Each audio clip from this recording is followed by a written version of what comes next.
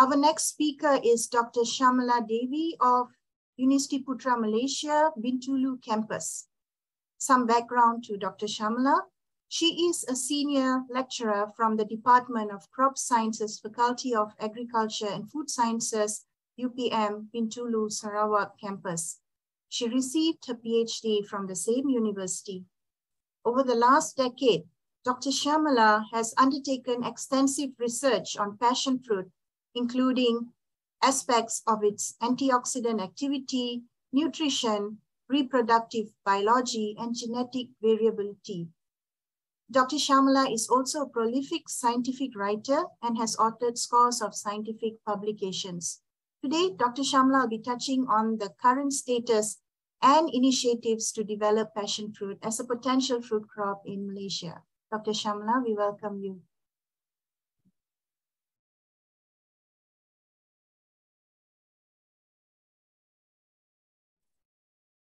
Okay, uh, thank you, Ms. Dorothy, the chairperson for today's event.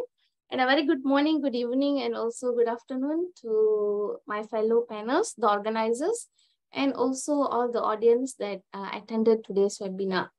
So without further ado, I would like to start my presentation entitled Current Status and Prospects of Passion Fruit Cultivation in Malaysia. So generally, the facts that I'm going to share with you all today is based on my own experience and also my research finding for past uh, 10 years, right?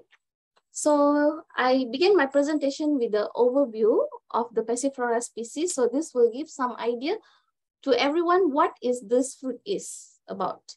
So Passiflora species or known as passion fruit may well be the most fascinating plants of the tropic. As you can see in the photo here, the flowers are extremely beautiful. They produce like a very strong aroma. And of course, the fruits are contain um, more nutritional, phytotherapeutic, and also produce a unique flavor. So passion fruit is a high value export oriented crop because the fruits and the byproduct itself are highly valued in the pharmaceutical and also nutraceutical industries. So this passion fruit generally belongs to the Passifloraceae family. Actually, there are about more than 500 species of passion fruit available all around.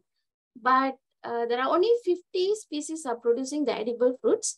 And of course, out of these 50, only two forms are widely distributed in the tropical regions and economically important. The first one is the purple passion fruit. The second one is the yellow passion fruit. So these two are widely cultivated for commercial scale. And generally, Passion fruit is classified as a minor tropical fruit together with guava, durian, lychee, and also rambutan. So about the distribution or its origin, of course, uh, passion fruit is not native to Malaysia. It is native to South America and South America is the center of the diversity. So Brazil is the main producer and also main consumer of this passion fruit and US, Germany, Japan, New Zealand are their main importers. So the world production now is like estimated about 1.7 uh, million tons in year 2019. So why the passion fruit is so unique? What's so special about the passion fruit? Actually, their juice is very aromatic and they have the unique flavor. And by drinking a cup of passion fruit, we can get most of the minerals that needed by our body in daily uh, requirement. And also they are rich in the vitamin A and C together with the antioxidant properties. So there is a says that a passion fruit a day keeps insomnia away, where all the passion fruit parts, especially the juice, the flower, the leaves are have the ability to treat the insomnia. And besides, when we look into the flowers uh, photos, right, they are very colorful and they have a very strong uh, fragrance as well. So this could be a good candidate for ornamental purposes. Beside, passion fruit is also one of the fruit that contain a lot of medicinal values. They are very good, eh, good for vision, skin, and also protect our body from free radicals, anti-inflammatory, anti-diabetic, anti antibacterial, and many more. So all these things makes the passion fruit is high in demand actually. And even like during the COVID-19 pandemic, in European market, one of the fruit product that grabs high uh, demand during the panic buying is the passion fruit puree actually. So now we're moving on to the status of passion fruit in Malaysia. As I mentioned just now, this fruit is non-native to Malaysia. It's being introduced, but passion fruit is not new to Malaysia. So the first growing was reported in 1914 in Gunung Angsi, Negeri Sembilan. After that, the cultivation has been expanded to Cameron Highland and also in Air Hitam for the commercial cultivation. But then what happened was the population is affected by the passion fruit woodiness diseases. So this discouraged the further expansion of this fruit at that time. However, in 2006, the fruit gaining back its popularity in Malaysia, and of course now it's being one of the accepted uh, fruit in food and also health industry. And it's fetching a good price as well, the price ranging from 12 to 20 depend, depending on uh, where it's available. And uh, because of the high demand during the COVID, so it is expected the demand for passion fruit purees will continuously rise until 2027. Okay, now I would like to introduce what are the species that available in Malaysia. So basically, um, based on my observation and also based on my reading, there are nine species has been recorded to present in Malaysia. And these two species, which is purple passion fruit and also yellow passion fruit, is known as Makisa. So there is no any particular name for uh, these two. So we just address as Makisa here in Malaysia. I think similar name uh, in Indonesia as well.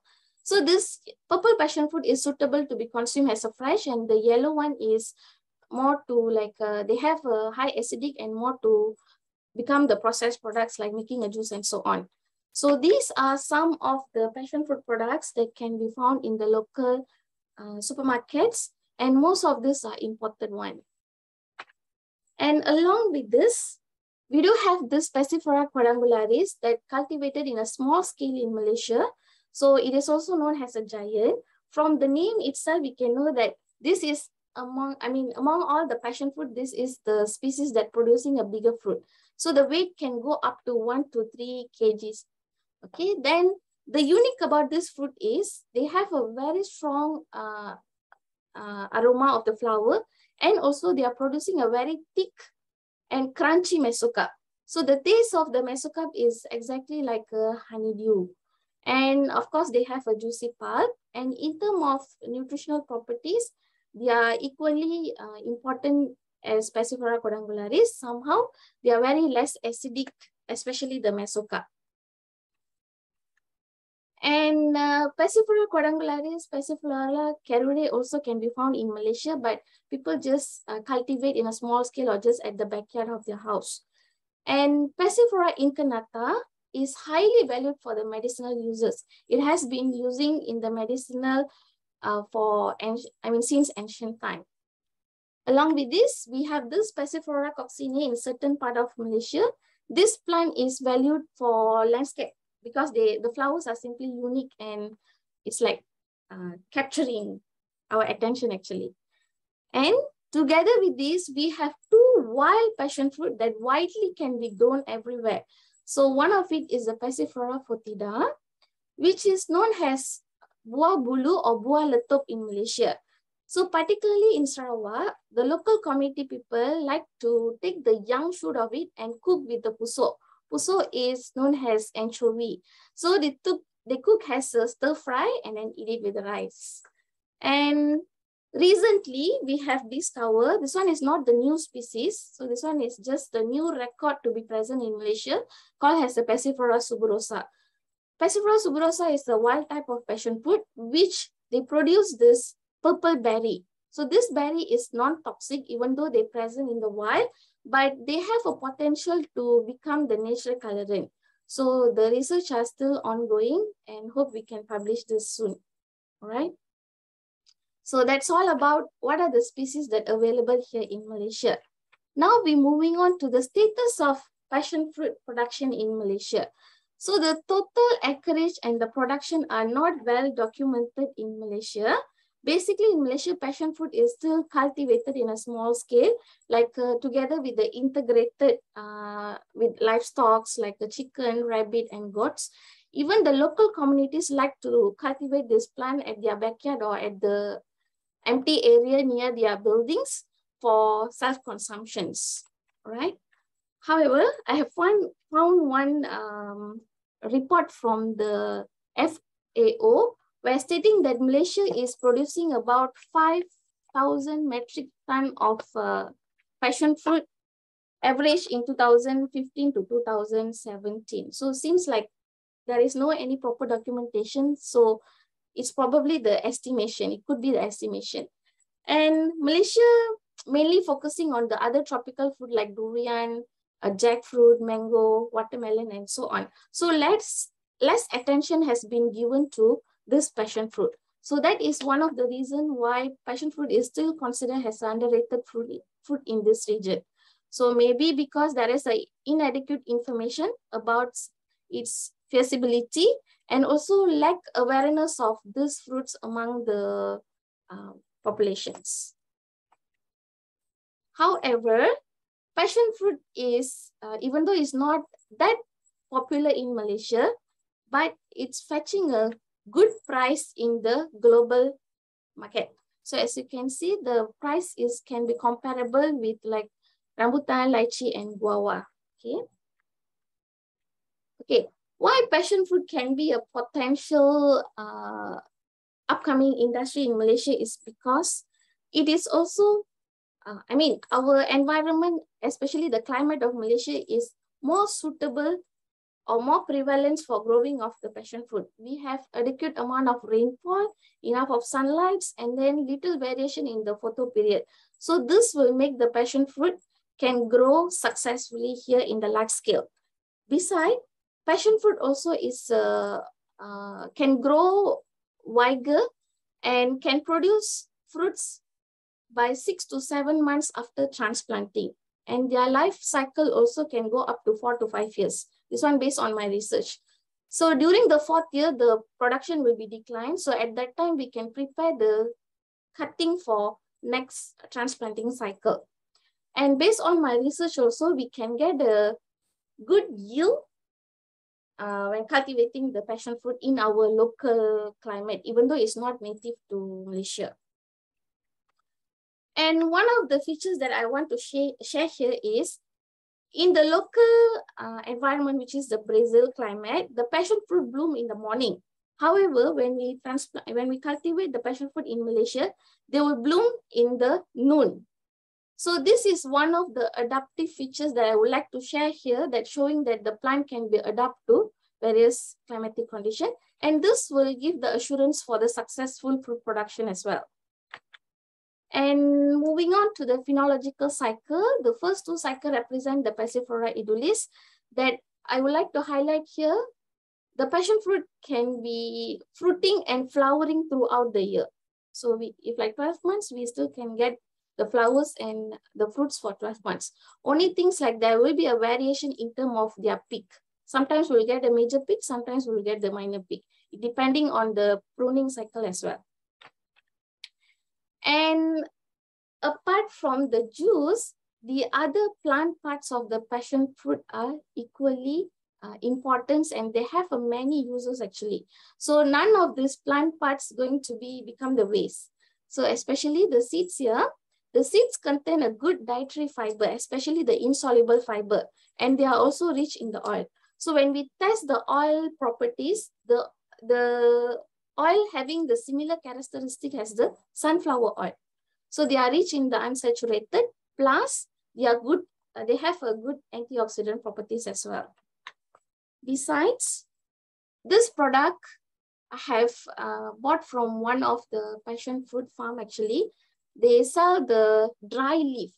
So they said this dry leaf is good to treat many uh, diseases. So one of the thing is we can make a decoction from the dry leaf. So when we test the properties of the leaves, actually they are rich in dietary, I mean, they are rich in, rich in the secondary metabolites, particularly the alkaloids, phenolic, and flavonoids. So all these components are very important to uh, treat various diseases, especially the inflammatory, sedative, and many more. And last but not least, Rind is the major waste in the passion fruit industry. But researchers has discovered that the flour from the rind is can be become the stabilizing agent emulsifiers, thickener, and also as a gelling agents. Why? Because this um, ring is rich in the pectin. So this pectin can be used to all this, all the properties that I have mentioned just now. Okay, now moving on to the strategy, now we have seen there are so much of important and there are increasing demand of passion fruit, even locally and also internationally. So how to boost up this passion fruit industry in Malaysia is of course by creating the awareness. It's like not everyone in Malaysia is aware about the presence of this fruit. Although we know there are so much of health benefits or so much of nutrition from this fruit. So of course, uh, how to create the awareness is through publicity. Maybe the government or any other agencies need to introduce this, this fruit or need to advertise this fruit in the TV or social media, even like introducing this fruit in the hotels, restaurants, or even the in airlines and etc. The second is obtaining the quality planting materials. This is one of the things that, that lacking in Malaysia where we don't have a improved variety here. So all this while you just bought the seeds or you just do the cutting and we plant it. So this can be one of the reason why the production is still low. So if we able to get the improved varieties, so we can expand the uh, passion fruit to the larger cultivation. And of course, the good cultivation practices should be shared with the local growers and also farmers. We have to educate them to accurately assess the nutrition and when the right time to apply the uh, fertilizer, when the right time to do the hand pollinations or even the pruning, training, and many more. So this will help them to uh, cultivate the passion fruit in the large scale successfully. And pest and disease management is one of the important things that look into. And definitely the post-harvest management also equally important when we talk about the large scale production. Because in Malaysia, the post-harvest management for passion fruit is very, very much lacking.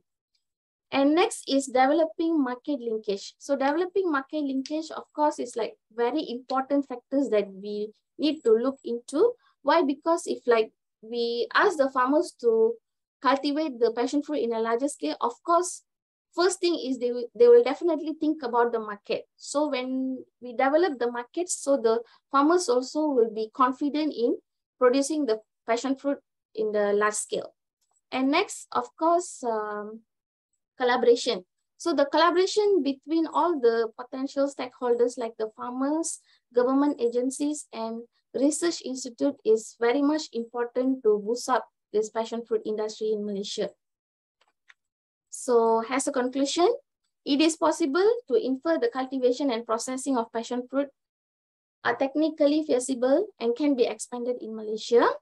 And passion fruit industry can be about much needed employment opportunity, especially for the small scale uh, farmers, not only through cultivation, but also through the establishment of more processing and semi-processing units. So these three key points are very important. Establish uh, product, I mean production method. Second is the grower adoption. And third is the product innovation. Uh, if like we can tackle these three components, definitely we can uh, boost up this industry in Malaysia. So last but not least, I would like to acknowledge uh, Mr. Yaacob for inviting me for this webinar. And uh, UPM for providing me, so far I received two grants for this passion fruit project and my ex-supervisor who introduced this fruit to me and my research team and not forgetting all my collaborators. Thank you from me. Thank you very much, Dr. Shiamala, once again for providing us with a very good account of uh, available species of passion fruit and its utilization in Malaysia, the efforts that are currently being undertaken in R&D, and the present developments, including the potential for passion fruit to be marketed more widely, especially targeting the domestic market and expansion in terms of uh, its production in Malaysia, given the potential of the commodity to adapt to Malaysia's agroclimatic conditions. And as proposed as one of the strategies, it is hoped that more awareness can be created on the importance of passion fruit among the general population and also the industry in the coming days. Once again, thank you, Dr. Shiamala.